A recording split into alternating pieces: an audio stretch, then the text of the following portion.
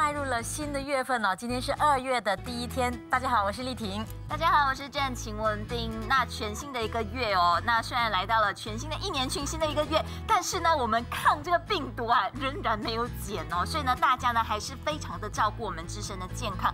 那特别呢，今天在课题当中呢，我们将会和大家探讨的就是这个护肺的这个圣品，就是木耳。是，当然木耳有黑木耳，有白木耳，哪一种的这个呃颜色的木耳，它的那个护肺的功效比较大呢？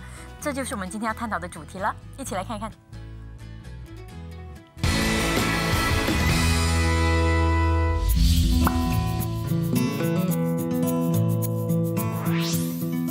呼吸功能是由肺部所掌管，在这疫情期间，肺部也成了新冠病毒主要攻击的器官，因此护肺此时此刻显得格外重要。大部分的人会认为护肺就该从食疗养生或调理开始做起，而被视为护肺圣品的木耳更是备受追捧。但黑白木耳是否皆具有护肺润肺功效呢？今天就一起来从中医学及营养学的角度来了解黑白木耳的功效与营养成分。收木耳的营养精髓吧。好的，今天和我们视讯连线的有中医师哦，是于秀娟医师。于医师你好，于医师你好，你好，主持人好。是于医师，今天我们来谈木耳。那先跟我们说说，其实这个黑白木耳都有这个润肺的功效吗？啊，对的，其实呢，黑白木耳呢，它们都有润肺的功效，只是呢，这个啊白木耳呢，比黑木耳润肺的功效来得强。嗯，那黑木耳是强在哪方面呢？嗯，啊，黑木耳呢，基本上呢，它是啊，它能够有这个白木耳，它的那个润肺功效会强过这个啊黑木耳。然后呢，白木耳呢本身呢，它是有滋阴的功效的。啊，白木耳本身呢，啊，这两个这两个木耳呢，无论黑白都好，它们的性味都是相同的，它们是性平，味甘，然后淡。啊，对的。老师所谓的这个淡是什么意思？就是没有什么味道的那种吗？对，比如好像啊，昨晚我也煮了黑木耳来吃，所以呢，这木耳呢，它的味道呢也不苦啊，它也没什么味道的，就是在我们的药膳里面呢，我们加了调味料，所以才会形成这个木耳有它的味道在那边啊。所以木耳本身，对对是的，嗯。那老师，那如果说白木耳比较强在润肺护肺啊，黑木耳的功效又是什么呢？黑木耳呢，它有一个名称，就是身体的清道夫。嗯，然后对于减肥啊，或者是血管硬化啊、胆固醇高的的病人来说呢，其实黑木耳是非常好的一个圣品来的。嗯，还有一种说法就是黑色的食材都可以补血，黑木耳有没有这样的功效啊？黑木耳呢，它是我们讲它以它这个颜色来说呢，和它本身具有丰富的水溶性纤维。所以呢，如果你说补血呢，其实它还不至于达到补血，但是就是因为它这个水溶性纤维，它能够促进这个肠胃的蠕动，然后呢，帮助这个粪便成型，所以呢，减少脂肪的吸收。所以对于减肥的人来说呢，多吃黑木耳其实是不错的。哦，那还有听说有什么呃凉血和止血的一个功效？那其实这两者又是怎么样来理解的？什么是凉血？什么又是止血啊？其实凉血和止血是怎么样解释呢？我们来看看这个呃，所以所以我们来看看啊。好，老师在准备教材是吗？对对是。其实凉血止血呢，就是在于我们讲呃。啊，比如好像可以治疗什么问题？比如行以下有列出来，就是肺痨、咳啊卡啊卡血。嗯，这个肺痨卡血呢，其实呢，身体表现出来呢是一种肺比较阴虚，因为阴虚就是阳亢嘛，就是身体属于一种比较虚火的症状。所以呢，稍微磕一磕呢，就是我们讲肺里面的这些支气管它都会啊破裂，就会有血出来嘛，所以就会啊这个血就会卡出来。然后呢，针对这一方面呢，都可以用木耳，都可以用这个黑木耳，都可以吃黑木耳。然后至于风漏啊，或者是血痢啊、排便出血和痔疮出血这些呢，都可以啊吃黑木耳啊来帮助，作为一个药膳或者是一个啊一个辅助品，其实是没有问题的。就针对这几个方面呢，都会有很大的帮助的。就是说，假设有有痔疮出血的问题啊，他吃了黑木耳之后可以帮忙止血，是吗？当然，这个痔疮来说呢，也要看它的严重性。痔疮也就分为内痔啊、外痔啊，然后也要看出血的程度的。比如这个病患呢，他的痔疮出血了几天，然后他这个还不能够收口的话呢，当然如果是黑木耳是作为药膳可以帮助，但是真正呢还是需要去寻求治疗了，因为啊他流血太多了嘛，因为也呃可能它里面的状态会比较不理想了啊，或者是身体的体质影响到这个血流不止。这个可能就需要呢去寻求帮助，医学啊医啊就医生的帮助。但是呢，在平时的药膳可以多吃这个黑木耳，基本上呢可以协助这个药法发挥疗效，这样子啊啊这个患者就没有这样辛苦了。哦，了解。那我们了解过了黑木耳，我们来谈谈白木耳吧。那白木耳，我们都说刚才老师有提到了，它那个润肺的功效其实是比黑木耳来的强的。为什么这么说呢？是不是它的那个滋阴的那个部分会比较高呢？对的。然后白木白木耳呢，基本上它可以滋阴润肺啊，养胃生津，延缓衰老。它是一个美容养颜的圣品来的，嗯，就我们说它是穷人的燕窝，燕窝一般不贵嘛，对，这个白木耳呢是穷人的燕窝，有一个这样子的名称啊。然后白木耳呢，基本上呢它就是有以下的功效，所以呢，当这个肺呢能够滋阴的话呢，基本上我们就不啊身体就不会降热，然后喉咙也不会降干。然后呢，白木耳呢，基本上呢，我们来解释一下，它是生活啊，它它是怎么样呢？它是生长在这个。枯木里面的一个一个叫真菌，它是使用真菌可以使用的一个真菌类来的。嗯，所以你看它枯木都已经是没有营养了嘛，但是呢，这个白木耳还依然这么灿烂啊，能够供给我们食呃，供供给我们饮用使用啊。所以呢，它其实呢就是很多精华就是在这个白色的这个木耳这边呐啊，所以可想而知呢，这个白木耳呢，它是对于我们的身体是有很好的一个我们讲可以增加抵抗力也好。或者是啊，抗自由基这些功效都可以，都可以说的。对，老师刚才在那个功效里头，白木耳我有看到一个补脾开胃，也就是说，其实呃，多吃白木耳可以健我们的脾胃吗？呃，对，一一般上呢，白木耳呢，好像比如我们的膳食，马来西亚的饮食呢，多数都是比较辛辣嘛，辛辣啊，煎炸啊，或者有时天气太热，对，重口味，或者是啊。一些爬，所以呃很多人都是口味比较重了嘛，嗯，所以当这个这样子的食物呢刺激我们的脾胃呢，我们的脾胃就会有一种虚火、一种热的状态啊。所以如果我们时常啊吃这个银耳啊，就是白沫其实就是银耳嘛，嗯，然后可以加一些白果啊、那些薏米啊，其实对我们整个身体的那种啊都会有帮助的。所以它为什么会有这个养胃滋阴的作用啊？对。那于医师，人人都适合吃木耳吗？我们先说黑木耳好了，有没有哪一些人群是特别适合吃或者要多吃的？比如好像胆固醇过高的啊，或者是血管硬化的啊，或者是有一些好像心心脑血管疾病的中风啊之类的，其实呢都适合啊吃这个啊黑木耳的。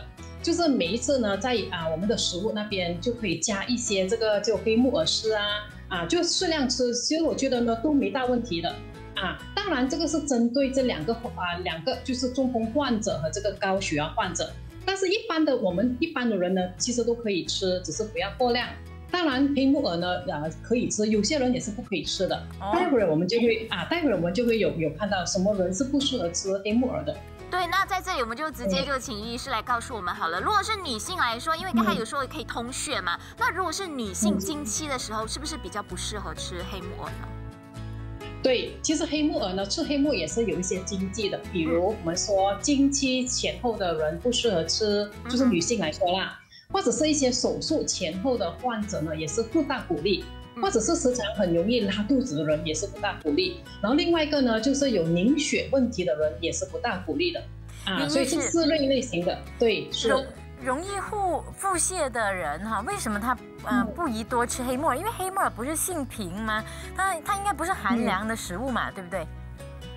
对，它不是寒凉，但是刚才有讲了，因为它有丰富的水溶性纤维啊，这些纤维呢，它可以促进我们的肠道蠕动嘛。所以啊，可以帮助这个粪便成型嘛？因为纤维我们一般所知道的，就是纤维它可以制多纤维就可以通便嘛。所以呢，呃，一路来有腹泻状态的，或者皮啊，或者是时常会很容易拉肚子的，这个木耳呢，其实就是不鼓励吃太多了啊，它可能可能会加重它这个腹泻的情况啊，那就麻烦了。对，而且特别我们看到那个木耳里头有一些粘液，特别是白木耳哦。那白木耳这种粘液是不是可以帮助我们润肠啊？对这个白木耳呢，其实呢，它有大量的我们叫做粘液蛋白啊。它这个粘液蛋白呢，其实就类似我们所讲的啊，好像啊胶原蛋白啊，类似胶原蛋白这样子的。所以呢，这些胶原蛋白呢，基本上呢啊，当然白木耳这个吃了，它也是会有滋阴养养养胃啊，滋阴啊，那其实也是可以帮助排便的。所以很适合一些便秘的人吃，对不对？对对啊，但是大多数呢，我们说这个银耳或者是白木耳呢，可以养颜美容。所以呢，要养颜、要美容的女士们呢，可以常吃这个白木耳，或者是这个银耳，对，是非常好的一个，也也也不会很价位也不会很高的一个啊，一个我们讲一个食材，对。是有禁忌人群吗？吃白木耳的话？呃，白木耳呢，基本上呢不适合吃的人群有，比如外感风寒的人啊，外感风寒，或者是痰湿内阻的人啊，或者是脾脾胃比较虚寒的人。啊，或者是对白木耳过敏的人都不适合吃，对，啊，那为什么呢？其实这个痰湿，我们该讲的痰湿内阻啊，就痰湿呢，我们身呃埋下的呃，我们讲埋下的啊的人民多数呢，身体都有湿和热的，所以这个痰湿这两个字来解释呢，表示呢，这个是人的身体里面呢，就是痰湿，就是寒气比较重的。啊，湿气多过热的，所以当湿气多过热的时候呢，往往呢就会造成身体含水分很多的意思啦。我们有说水水分很多，然后这个嘛白木耳呢本身它是白色的，所以我们讲就算啊我们平时的煮菜啊，煮一些白色的菜呀，大白菜也好啊，都可能要放要放一些姜来制作这个白色这个菜的寒性嘛。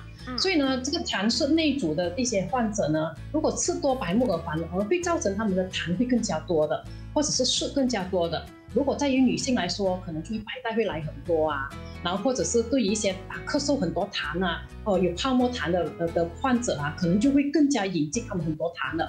啊，所以变成这个啊，就变成因为我们讲药食同源嘛，虽然它是食物，但是呢，你一直吃，因为它很好嘛，你一直吃，我物极必反嘛，所以呢，其实任何的东西都要适量，或者是针对性啊，它就可以取到恰恰好的好处。又能够治疗啊，又可以有发挥到很大的疗效。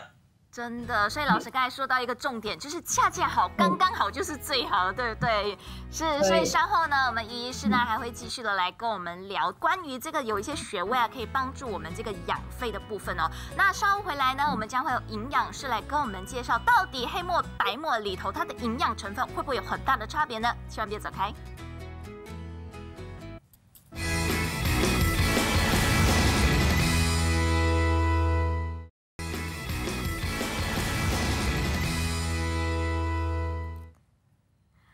回来，那这个时候马上要从西方的营养学观点来谈谈木耳的营养价值啊！我们要和许杰新 Jessica 老师来视讯连线，欢迎 Jessica 老师。Hi Jessica，你好，你好。好，那首先我们先来聊聊，其实如果是说木耳的话，那基本上就是黑木耳、白木耳嘛。那两者之间，其实它们的营养功效的话，会不会差别很大呢？呃，其实黑木耳和白木耳，它们算是属于同一个家族的人，所以。营养成分上的功效不会差异太大的，那差异在哪里呢？微小的差异。呃，其实微小的差异就在于可能呃黑木耳它的这个热量会比白木耳稍微高一点点而已，然后再来还有呃碳水化合物方面的话是白木耳偏高一点。再来蛋白质就是黑木耳偏高，然后脂肪是白木耳偏高，矿物质成分是黑木耳偏高。但其实你看到那个数值上的差异是不会有太大上太大的差别。嗯嗯，那老师想请教一下，那其实呃很多人都说这个木耳啊，它是平民的燕窝嘛，那它真正的最最大的营养价值在哪里啊？好，其实呃燕。木耳它最大的营养价值在于它的多糖体，OK，好，体这个东西呢，它就是简单来讲说，它就是纤维素 fiber 来的。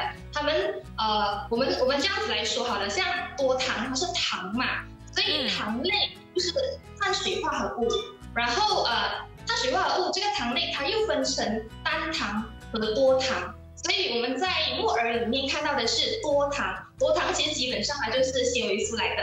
像如果单糖，一般上我们鼓励大家少吃的啊，那种白糖啊，或者是很甜糖分很高的就属于单糖类的，因为这些单糖类它会让你的血糖在短时间内迅速升高，但多糖类不会，比如讲说黑木耳和白木耳里面的多糖都不会。所以我们能简称它这个多糖体叫做纤维量，对吗？就感觉就是它，它就蔬菜类呃也会有的那种纤维。对对，可是因为纤维有分很多种嘛，像在黑木耳跟白木耳里面这个多糖跟蔬菜里面的是不一样的。哦，好，那老师，我们每次说到这个木耳哦，它可以降胆固醇的这个功效，其实就是主要是因为这个多糖体吗？是是，确实，它降胆固醇的功效，就是因为呃，当你吃进去这食物下去的时候，因为纤维素其实是它不容易被我们的肠道消化，所以这个纤维素它就会跟胆固醇结合在一起，它黏住它，然后胆固醇就会被我们的身体、我们的肠道重新收回去，进入到血液，也就是通过这样子的方式来达到降胆固醇的功效。哎，那换句话说，就可以保护我们的心血管喽。是是是，就能够保护我们的心血管或者是脑血管。啊，那我还有看到一些报道，据说这个木耳还有那个你知道吗？共同的这个功效就是抗肿瘤，可以这么厉害啊？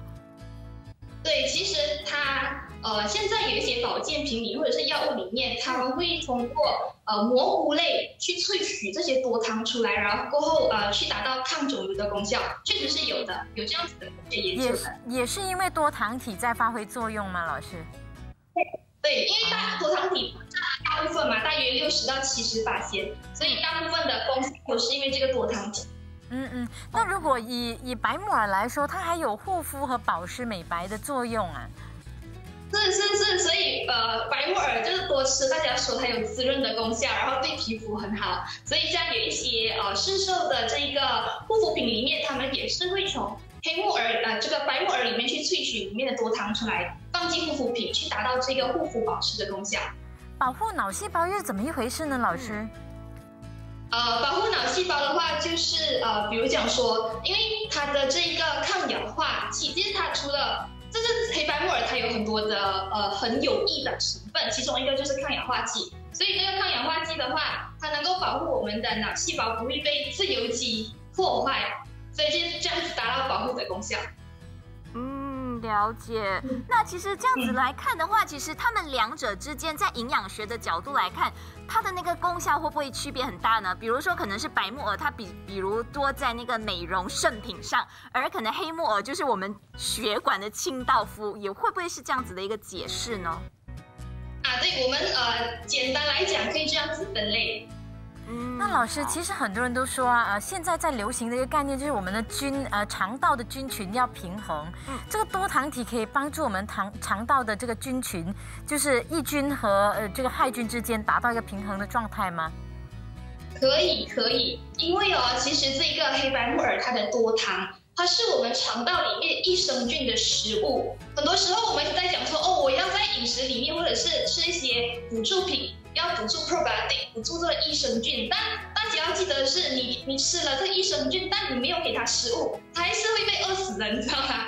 所以呃，你你的身体里面本来就有这个益生菌，所以你吃黑白木耳，它们能够作为这个益生菌的食物。所以医生讲说，你吃这些多糖来养你的肠道里面的好的细菌。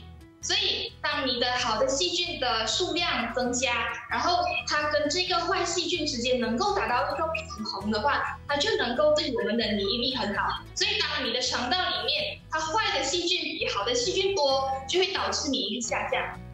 啊，就生病了，容易感冒啊，有不舒服的状态了。也就是说，你整个肠道的整个环境是属于在一个健康、健康的一个状态底下，是不是？那你的免疫力就会上升了。是。那老师，我们一般看到这些雪耳啊，我们或讲木耳啦，都叫雪耳，它都是干品居多，是吗？有没有人吃生鲜品的？应该是不可以吧？对，因为菌类嘛，哈。是我们不建议是生呃生吃，就是如果你要用来凉拌的话，也会建议你在吃之前先用热水穿烫过比较好。嗯嗯，了解。那如果我们选这些干品的话，应该怎么选呢？好，呃，干品的话，基本上它其实黑木耳它是很轻，然后它的叶片是很薄的，然后它就有卷曲，然后而且你看得到就是干瓶，它会是一面黑色，另外一面是灰色。但如果你泡发之后，它就会整朵变成黑色了。然后呃，你拿起来闻的话，它不会有很呛鼻的味道。哦，所以那个白色是无害的啦。我每一次洗这个黑木耳的时候，我就拼命搓，拼命搓，其实是不用啊，泡水它就会直接没有掉，是这样吗？是是是，它干皮就会有这样子的颜色在。那老师，那个附着在那个呃黑木耳上的那个银白色，那个是什么啊？其实它是种杂质吗？就是附着在那个黑木耳上的那个银白色的那个部分，刚才有提到的那个白色，那是什么来的？其实？啊，它它原本的成分就就是会有，就是它干了之后会变成这个灰白色的。嗯嗯。哦。那如果白木耳呢？白木耳很多人都说啊，要买那种雪白雪白的。后来有人说那个可能会有漂白水，是这样吗？呃，是。可是漂白它不是用漂白水来漂白，就如果真的是要看到那种很白很白的木耳，它可能是经过用硫磺来熏制。然后它就会变成非常的白，所以大家看到呃干品的时候它很白，你就呃要稍微注意一下。通常干品的白木耳它是偏黄的，哦哦，所以它不可能雪亮雪亮的颜色，它是偏黄和半透明色。那如果过于雪白，就是很可能是处理过的。那黑木耳呢？如果假的黑木耳有吗？在市面上？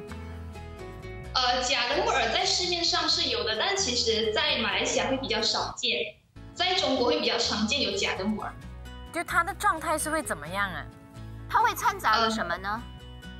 好，我们前面讲到，其实木耳它就是它干品的时候，它干的时候是它的叶片是比较薄，但是如果是假木耳的话，它的叶片是比较厚，然后它就呃比较少卷曲，就比较厚肥大，再来呃它的重量会比较重，因为其实。干品的黑木耳，你拿起来的话，重量是很轻很薄的。这样如果是假的黑木耳，它会比较重，然后重量会比较重，然后看起来比较厚。然后如果他们经过一些加工的话，放了一些成分进去，它会有呃一些咸味、甜味或者是苦涩的味道。那些是什么不良的成分啊，老师？嗯，其他的物质会是什么？啊，对，所以呃，如果要造假做这个假木耳的话，通常他们是可能会加入一些糖、盐、面粉、淀粉，然后呃这些可能还是比较天然的成分。但是如果是一些用一些呃化学成分的话，就比如讲说，可能他们会用石碱，会用明矾，会用硫酸镁或者是泥沙都有。老师，这个明矾，我看那些宫廷剧有讲过，什么吃了白矾啊、明矾之后会腹泻，是吗？是是，它因为它毕竟是化学成分，而且它是工业化学成分，所以呃，一些造假的木耳就是他们加入了这些成分之后，是为了要让它呃加工出来之后的颜色跟色泽很漂亮、很黑。但是吃进身体了之后，它就会造成一些副作用。然后这些化学加工成分，就是吃进身体之后就不容易被身体排出来，会造会变成毒素。了解。那如果我们可能，我们可以在清洗的过程把这些化学的物质给清除掉的吗？呃，其实如果是买到假木耳的话，呃，你在泡发的过程中，你就看到那个水它是浑浊的、蒙蒙的。啊，如果是。我们真的木耳的话，它其实基本上泡发之后它是不会浑浊，就是它水还是透明干净的。哦，好，就是尤其要买对进口的，他将会教我们如何来进行处理的这个部分哦。是，尤其是要买那些进口的木耳啊，可能要特别的小心了，因为马来西亚的问题比较少一点，进口的可能要注意了哈。好，我们这里先休息一下，先来看一看我们距离农历新年还剩下大概十二天的时间哈。哎，这个新春的发型啊，给男生的有什么建议呢？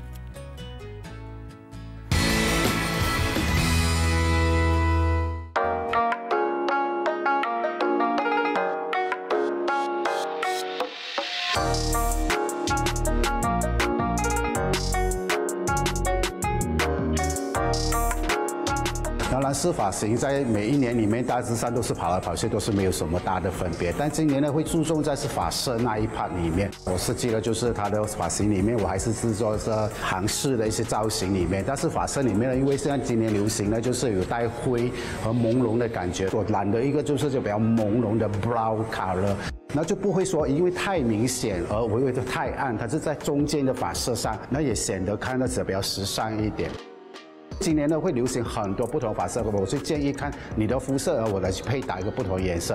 然后今天呢这个模特儿，因为他是男生，他肤色带的比较暗，所以我就染了一个灰棕色给他。所以我是希望可以提亮他的肤色，然后就看得比较精神一点，所以我就选选择了一个灰棕色在那一边。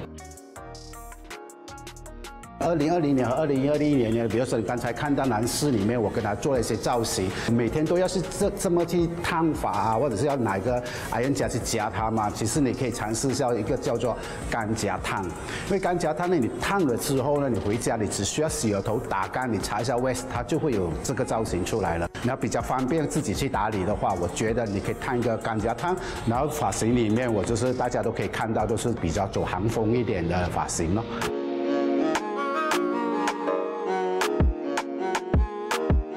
你的肤色是男生肤色，如果是比较比较白的话，我可以建议你可以染一些就是奶茶色啊、啊灰金色啊，或者是亚麻金啊，这种颜色都可以带到比比较白。每个肤色里面，我可以相信你可以去问你的发型师，你的肤色现在流行的发色可以适合在你的肤色里面。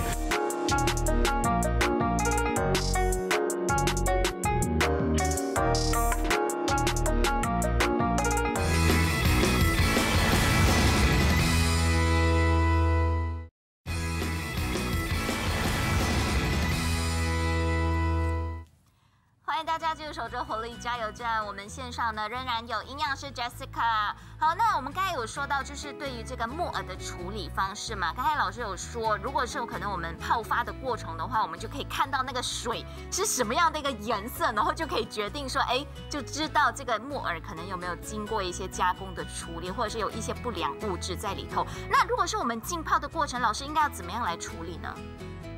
好像呃黑木耳泡发的过程中的话，因为其实它是属于菌菇类，它它还是会容易滋生细细菌的，所以建议大家在泡发的过程中里面把它呃放水了之后，放在一个密封的盒子里面，然后建议大家放冰箱冷藏泡发，大约一到两个小时就够了，不需要太长时间。嗯，那为什么要进入要把它冷冷藏呢？就是在放在冰箱里头泡发，这个过程是原因是什么？因为我们妈妈帮我们做这个木耳的时候，都是泡在放在厨房料理台隔夜而已。哎，对。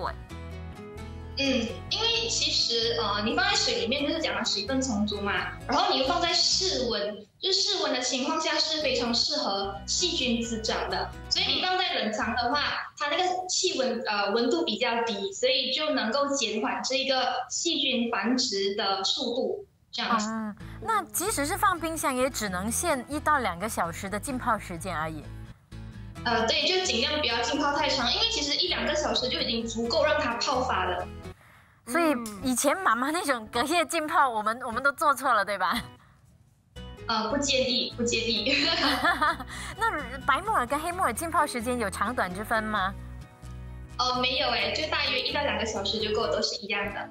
哦，这个不可以超过四个小时，就是最多啦。如果忘记的话，对，也要四个小时内啊弄起来。因为木耳它还是一种菌类嘛，就。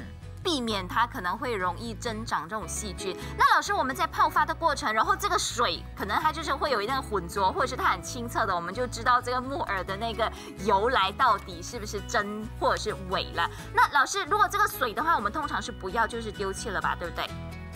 啊，对，那个水就可以直接丢弃了。哎，老师，我再请教一下哈，那些那些木耳啊，其实我泡的时候，我洗的时候很仔细，那些有呃边边角角不美丽的颜色啊，我我都会把它剪掉，需要这么麻烦吗？其实，呃，你讲的不美丽是什么意思？就它可能会啊，有有一些字啊，黄黄的、干干啊，尤其白木耳，它有很多那种字的感觉啊，我都把它涂掉，或者或者剪掉，就挖掉。那那个一点点黑黑黄黄的，是不好的吗？其实呃，因为它是它就是跟普通蘑菇一样，它还是会有一些杂质在的，那些杂质是呃不影响的。但是如果你觉得不美观的话，是可以把它去除掉的。这个是完美主义。那还有一点呢，特别是白木耳，你知道，因为买回来它是整颗，然后呢，通常它中间会有一颗那个中间那个芯会连着整瓣嘛。那我们那个芯是要整个拿掉，还是说我们可以保留呢？其实它的芯有没有特别的一些功效？可以吃吗？那个？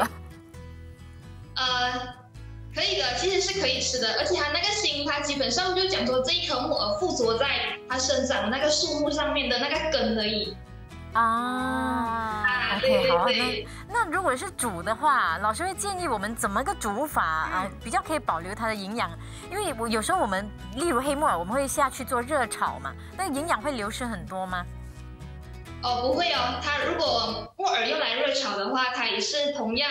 不会被破坏到太大，因为它蛋白质成分不高，主要平时我们担心一些蛋白质含量比较高，或者是一些呃维生素含量比较维生素 C 含量高的，我们就会避免用太高温去炒。但其实黑木耳、白木耳的话，你用温度高用热炒都没有问题的。嗯嗯，那再来就炖煮，炖煮就是比如我们煲糖水啊，老师炖煮我们可以黑白木耳掺着炖吗？嗯，什么？黑色和白色的木耳掺着炖可以吗？可以啊，两个可以掺在一起的，没有问题。好，了解。那再来，其实黑木耳还有另外一个烹调方法，其实也是很适合凉拌的，但是是不建议生吃哦。所以凉拌一定要先穿烫，对吗？对，就是你把那个呃木耳泡发之后，如果你要用来凉拌的话，泡发了先烫过，穿烫了之后才拿来凉拌。那个要烫两三分钟，还是要烫个十分钟之类的？呃，时间就不需要太长，大概两三分钟就行了。OK，好。那一般我们看到，呃，妈妈煮黑木耳的时候啊，热炒的话，她都会呃混搭一些食材啊一起来炒。那老师从营养学的角度是会怎么建议我们哪些食材比较好混搭呢？好，呃，如果你就是吃黑木耳或者是白木耳，你要达到某个特定的功效的话，这里可以建议大家可以做这样子的搭配。OK，比如说你来凉拌，你可以呃配搭。番茄或者是呃黄瓜，这样子的话就能够帮助你达到瘦身的效果，然后促进肠道蠕动。然后再来，如果是白木耳的话，因为白木耳它本身也有滋润养颜的功效，所以拿来炖糖水的时候可以搭配啊红枣跟枸杞子一起。哦，那老师其实是建议我们哪一天可以就是食用这个木耳吗？可以每天吃吗？呃，可以的，没有问题的，每天吃都可以，因为它是属于蔬菜类的。那怎么样避免它过量？会有过量的问题吗？呃，过量的话，就是可能有一些人 就是吃到太大量，就是 OK，比如讲说，呃，我们呃这样子来说一个分量，就是一个分量的蔬菜或者是木耳的话，它就是一个拳头大小，就是它泡泡发之后一个拳头大小。所以大概如果你一餐要吃木耳的话，它一份就是一个拳头大小这样子啊。那我常超标，对，因为一吃老师，我在问，如果我们可能吃过量的话，会不会导致不消化？因为好像刚才有提到中医师有提到的，就是可能它可以就是帮我们健脾健胃嘛。但是如果它太多的话，会不会可能会导致腹泻呢？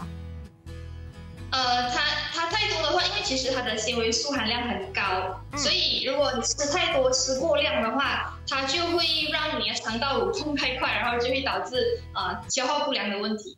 嗯嗯，那那可能吃的时候还是要注意啊，虽然很可口啊，但是真的是那个分量拿捏在一个拳头，对，还是要很少，因为真的有时候吃的话，你会吃到很爽哎，真的，所以大家还是要呃慎吃啦，对不对？是，非常感谢我们的营养师，谢谢 Jessica，谢谢，谢谢。好，那现在呢，我们就把时间交给八八六十四的 Rickman，今天有什么娱乐新闻呢？接下来跟大家分享的就是这个瓦仔刘德华呢，就是呢成为了这个央视新闻唯一关注的艺人哦。到底他在哪一个平台关注他？等一下告诉你哈。再来呢，我们的这个新歌那个单元呢，也会送上这个 Riota 片山两台的新歌给你听。还有等一下呢，也会有这个本地的女艺人柳吉黑，就是在我们的这个节目呢，跟大家来个视讯连线的，跟大家聊聊天。所以等下三点钟我们不见不散呀。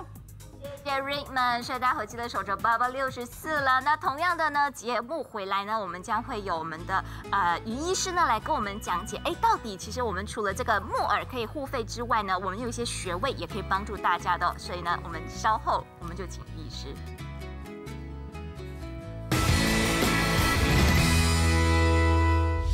属虎的朋友在健康运来说，今年里因为应酬比较多，必须留意饮食以及健康状况，特别是在阳历的六月份里，需加强有关肝脏、眼睛、肠胃方面的保养。属虎的朋友在今年进入个否极泰来，有贵人提拔，有望升职加薪、生意兴隆。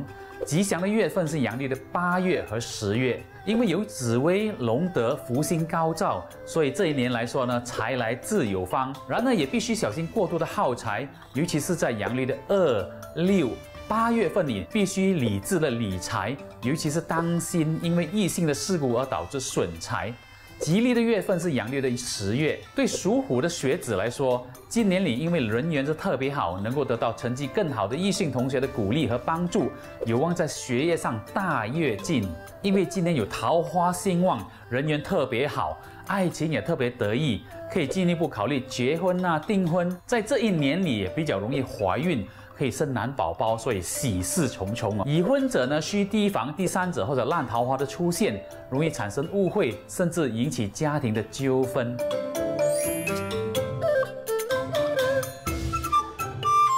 在今年里，属虎的朋友不要贪花恋酒，以免惹来不必要的麻烦，也不利健康。可以考虑计划扩大事业版图，有望进一步提升业务。在家中的南方摆设一些绿色的物件，能够吹动贵人的吉气。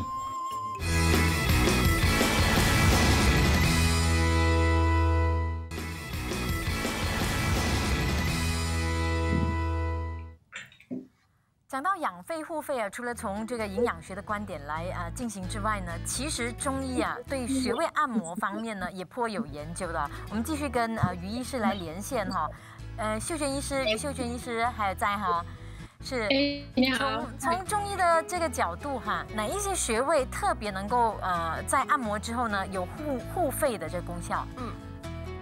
嗯，对，首先呢，我们啊先以这个中医润肺怎样去解释肺这个脏腑，然后呢，肺呢其实呢在现代解剖学来说呢，它就是位于我们的胸腔，然后左右各一，然后呢从解剖位置来看呢，这个肺呢它是五脏六腑里面最高的一个一个脏腑，然后呢有这个华盖之称啊，在这个《黄帝内经》呢里面呢《灵枢·九真论》里面有说到，肺者五脏六腑之盖也。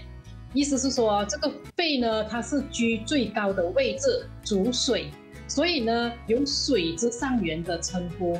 就如我们平时洗澡的花洒那样，它能够呢，平均呢，把水液呢分布到全身。然后再来，这个肺呢，在中医的理论来说呢，它有宣化胃气在体表的作用，所以有保护呢我们的身体五脏六腑免受外邪的那个侵侵侵进。就以它的位置最高，还有就是宣化胃气的两大功能来说呢，它是一个非常重要的脏腑来的。尤其是目前的这个啊疫情肆虐，大家更加要啊好好的保护我们的肺。啊，首先呢，我会从几个方面来说说如何保护肺。第一个呢，就是从这个经络的角度，经络的角度呢，首先就是说我们要按按摩一些哪一些穴位，可以加强我们这个肺的功能。嗯，然后手我们讲的这个肺经呢，就是十二经络来说呢，它是叫手太阴肺经。然后手太阴肺经呢，它经过的路线呢，就是我们讲胸肘手，就是它的穴位图呢，就是在这个图里面有看到了，就是它经过的地方有有肺，有这个喉咙，还有就是大肠啊，就最后的啊那个大肠那边哦。所以呢，凡是所经过的地方呢，这些脏腑的联系呢，都非常的密切。所以呢，啊啊，我们说呢，可以通过外表，就是我们讲经络刺激什么穴位呢，可以达到复肺或者是能够清肠的作用呢。首先，第一个穴位要介绍的就是尺泽，嗯啊，尺泽这个穴位在哪里呢？就是在我们的轴横纹的外侧端，啊，轴横纹外侧端。然后这轴横纹外侧端呢，我们可以怎么样去去啊去按摩它呢？就是用我们的拇指的指腹。我们的拇指的指腹呢，就是去搓揉它啊，就是呃，大家都可以试试看的。当你搓揉搓揉时候，你觉得哎，好像就是会很酸的啊，对，酸酸麻麻，对，嗯，对的，酸胀麻的感觉啊，这个是第一个穴位。然后第二个穴位呢，就是啊，我们讲第二个穴位，接下来呢就是什么穴位啊？金曲，金曲，对了，靠近手腕呢，对。对手腕关节呢，基本上呢有经曲，还有个太渊，这两个穴位都可以同时一起一起搓的。因为呢，经曲和太渊呢，你同时啊用我们的拇指的指腹去搓的话呢，基本上两个穴位都可以达到了。也就是用啊，就是用拇指的指腹呢，这样子轻轻去搓它啊，就是搓，就是搓哦哎，老师，通常我们在按那个穴位的时候，我们是按，可是这个我们是搓，是比较不一样的吗？对，因为这边它的血管神经比较丰富，如果是使命按呢，是怕啊有些手呃，因为有些呃做家务比较多的手腕关节的都会有一些劳损，所以呢是不鼓励太过大力的啊，不不可以太过大力。对对啊，肘关节这个是可以按按压啊按压，它是一个关节嘛，所以是可以按压。然后呢，这个经曲经曲经曲和这个太阴呢，就是搓揉，因为它是一个平面嘛，所以你搓揉它。啊，就搓到什么呢？大概一啊，你是搓，你搓久了，它都会有红色了。你觉得它血循环了啊？这个对肺都会有帮助的。然后再来一个呢，就是鱼际啊，这个鱼际呢，对，鱼际是非常好的一个穴位来的。啊，鱼际呢，就是在我们的大拇指的这个，我们讲大鱼际，我们的手掌呢有分为啊大鱼际和小鱼际的。所以呢，我们我们都会怎么样去保护我们的肺呢？通常我都会叫我的病人呢，就是整个拇指就是关注，就是大鱼际，一直去戳它。尤其是早上起来的时候，一些针对一些敏感的儿童啊，或者是鼻子敏感，或者是每天早上起来都会打喷嚏的啊，这些人啊，这些病患来说呢，两个手合掌，就是在这个大鱼际一直搓，就是像啊，这样向着这个顺时钟方向搓，一直搓，一直搓，你会觉得很热的，烫烫这样子的。然后呢，就马上放在鼻梁的地方，啊，放在鼻梁的地方，你就觉得鼻子呢就马上都温了。然后过后呢，才起来，才起身了。过后呢，啊，你的鼻子的那个敏感它就会改善，啊，所以这个仪器呢也是蛮容易操作，小孩大人都可以操作的，啊，都可以时常去搓它，啊，任何时候都可以，对吧？除了早上之外都可以哈，嗯。啊，对，任何时候都可以。那早上是尤为重要，因为早上呢，我们起来的时候呢，针对一些比较啊过敏的人啊，或者是一些时常肺气比较弱的人呢，都可以搓它的大鱼际，这是非常好的一个保健的功能来的。是的。嗯，那刚才那张图啊，医师我还看到这个拇指这边好像还有一个穴道是吗？也可以按摩。对，拇指呢，其实就是在指甲外端的地方啊。这个呢，有个穴位叫做啊少商，就是少啊，你们讲啊叫做有个穴位呢，对少商，对少商穴。这个少商穴呢，基本上呢是啊治疗我们临我们临床上呢治疗什么呢？就是治疗咽喉痛，比如咽喉很痛呢，我们会在这个少商这边放血。当然啊，就居家的话呢，可能放血会要关系关系到卫生各方面，所以是不鼓励的。但是可以怎么做呢？就是用指甲，我们另外一个手拇指指端的指甲呢，一直去刺激它，一直去按它，你会觉得痛痛很痛的，其实都蛮敏感的，你会觉得好像很很很不不想按这样子的。对，当你对当你咽喉不舒服的时候呢，你可以用指甲一直去刺激它，就好像穴位刺激这样子。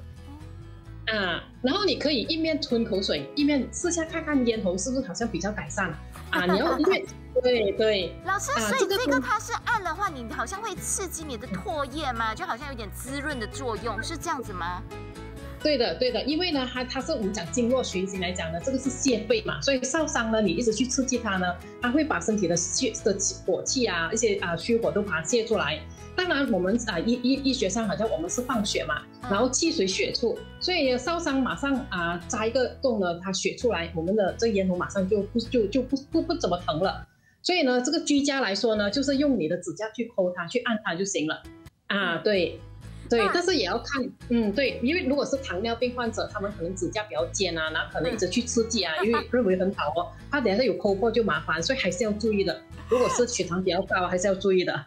对，或者是可能他当下可能火气比较重的时候，可以去按这个把它卸掉，也是可以嘛，对不对？可以的，可以的，对，嗯，可以的。除了穴位按摩啊，于医师，我们还有呃中医的哪一些药膳可以帮助护肺吗？嗯。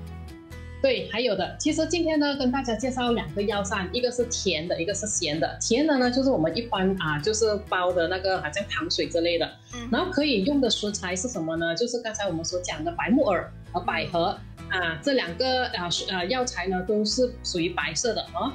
然后白木耳和这个啊这个百合呢，基本上百合本身的功能呢，就是有清心安神的作用。然后刚才白木耳有讲了，它可以润肺止咳啊，有养阴啊滋阴的作用，养胃滋阴的作用。然后我们讲现在的疫情呢，多多少少除了肺系要保护，其实我们的身体的那种情绪啊，就是我们的肝气啊，都是要保护的。所以呢，这个清心安神呢，真正呢就是适合，就现在这个这个药这个药膳呢，真正是可以适合现代的。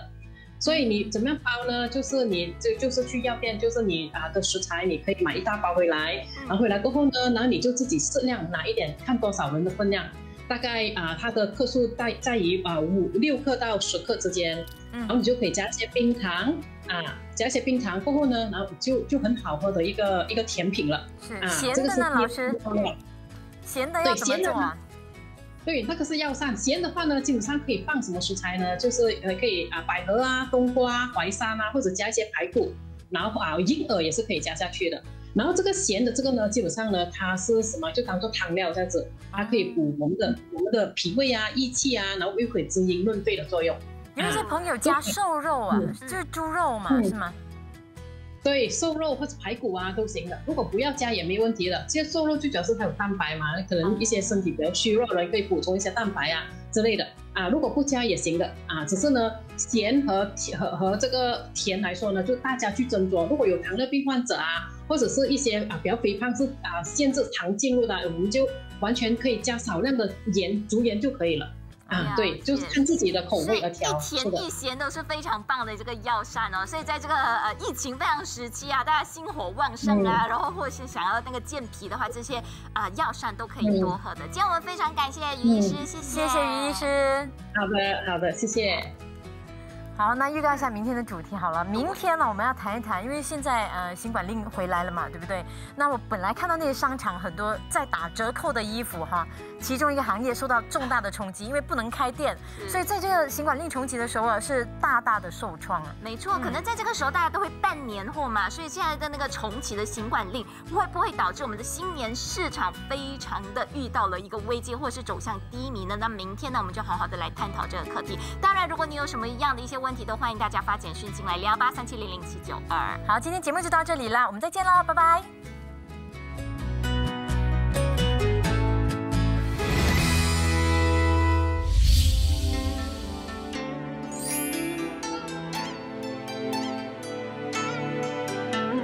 普洱熟茶呢，基本上在大家生活中比较常见的一种饮料，像是从一九七四七五年左右开始的。它的品饮那个方式的话呢，基本上是高温冲泡，而且使用的话呢是紫砂壶。一般叙述普洱茶的时候，你可能会发现到它与现在的描述的汤色可能有点相近，它的汤色是有带红浓明亮之类的。那么渥堆本身是制作普洱熟茶的一个手段，它需要的那个量呢，不是普通简单的，比如说一公斤啊、两公斤、三公斤的茶叶就可以做。它需要的可能是一吨、两吨，甚至三四吨的茶叶。这饼茶的话呢，它是使用了春茶。那么它的采摘时间的话呢，一般时间段可能是在早春的时间，初春的时候，大概是三三月底啊，四月初开始，啊，一直到可能到五月。都会有一些采摘的那个动作的，而它采茶的话呢，它不一定是就是我们所谓的矮虫式的，它很多基本上都是属于乔木。春茶它会带香，它上面呢有一些细芽头，芽头本身的话呢，如果是在比较青绿的茶叶上，它是呈现比较银色的那种状态的。可是如果是熟茶的话呢，它会带一点呃金色。可是普洱茶的那种制作来说的话呢，它不可能单纯只是有芽头的，春天它不可能也只是长芽头。它一定有芽有叶，那么才那个整整体的滋味呢才会比较的丰富。泡开以后，你会发觉到芽叶本身是比较粗壮的，细细小小，那可能是另外一种茶类哈。虽然它那个不是真正意义上的熟茶，可是现在来说的话呢，它也蛮蛮贴近所谓现在普洱茶的一个汤色的描述，一般都是带比较红浓明亮的感觉。呃，香气的话呢，会带一点木香味，因为在经过一定的发酵以后的话呢，整体的变化已经达到一个比较稳定，已经有点木质化的感觉，口感呢也比较香甜。我们叫熟茶的甜香味，所以这款茶其实喝起来是蛮不错的。春节期间大家可能吃的会比较多，比较油腻。普洱熟茶的话呢，相对来说对肠胃刺激也比较小，而且也适合饭后的话呢饮用，消油解腻，其实挺不错的。